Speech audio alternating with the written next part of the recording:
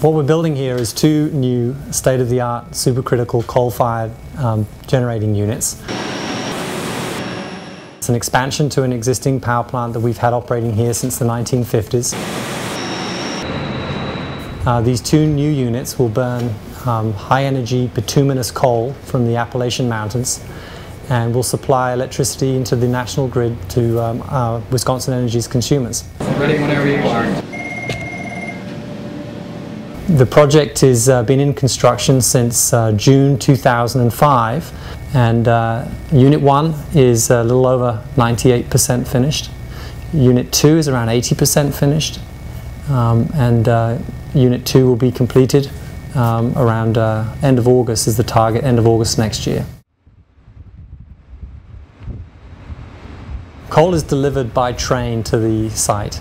Uh, coal is supplied via conveyors into the uh, coal silos and uh, the coal is then fed into a pulverizer which grinds the coal into like a talcum powder where it's then mixed with, uh, with air and blown into a boiler cavity.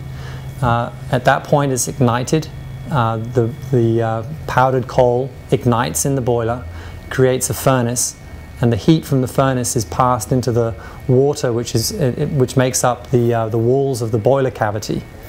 Uh, that water is then turned into steam. Steam is then supplied to the turbine, which turns uh, at uh, 3,600 revolutions per minute and generates electricity through a generator. So the steam turbine is connected to a generator, which then generates power, which is fed back into the grid.